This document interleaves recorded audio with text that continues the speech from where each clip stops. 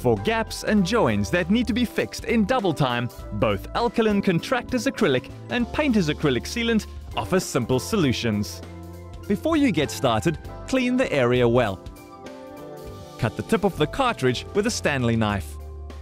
You'll soon discover that the Alcolin caulking gun offers some awesome features, and one is its ability to help you accurately cut the sealant's nozzle to the angle and size you want. Now load the caulking gun screw on the nozzle, and you're ready to start sealing.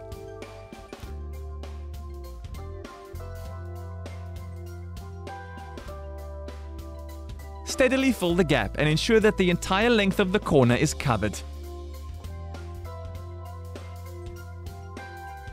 You can smooth the sealant with your finger, but preferably use a silicone tool to achieve a highly professional finish.